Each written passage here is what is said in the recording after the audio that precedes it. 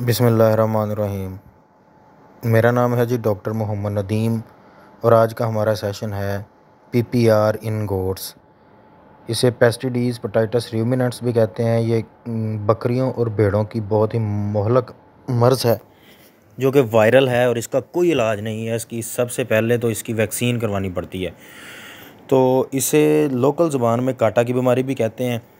तो आप देख सकते हैं कि सामने जो एनिमल आपको नज़र आ रहे हैं इनमें नेज़ल डिस्चार्ज है लैक्रीमेशन है सेलिवेशन है और माउथ में से चीज़ी मटेरियल जो है स्मेली मटेरियल वो निकल रहा है।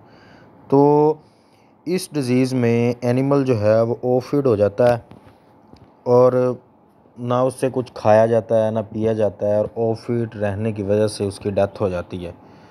तो सबसे पहले इसके साइंस एंड सिम्टम में आप सामने एनिमल्स को देख सकते हैं कि नोस्ट्रल से जो है वो नेज़ल डिस्चार्ज हो रहा है नोस्ट्रल से। सबसे पहले नज़ला जिसे कहते हैं, वो होता है एनिमल को। उसके बाद आप देख सकते हैं कि माउथ में चीज़ी मटेरियल जो है, उसके बाद म्यूकस में ब्रेन पर लयन बन जाती हैं, जो सामने आपको नज़र आ रहा है। मज़ल पे जो है वो ज़ख्मों की तरह छाले वगैरह बन जाते हैं। और ये सामने आपको नज़र आ रहा है, ये नेज़ल डिस्चार्ज भी है लैक्रीमेशन भी है सेलिवेशन भी है। मेनली ये देखें, इस तरह की कंडीशन हो जाती है जो सामने आपको एनिमल नज़र आ रहा है। इन सब में जो साइन सिम्टम दिखाए गए हैं, उनमें डायरिया भी है नेज़ल डिस्चार्ज मेनली इसका डायग्नोसिस में जो high temperature nasal discharge lacrimation hyper salivation mucopurulent discharge जो है वो, उसके बाद जो मज़ल है, उस पर छाले बन जाते हैं। ये सामने आप देख सकते हैं। ये मज़ल पे छाले बने हुए हैं।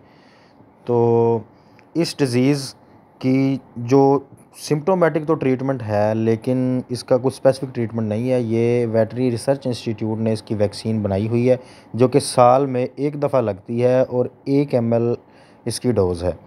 तो इसका सिर्फ़ और सिर्फ़ वाहद हल जो है वो वैक्सीन है और ये बहुत मोहलक मर्ज़ है। तो इसकी वैक्सीन ज़रूर करवाएँ। Thank you.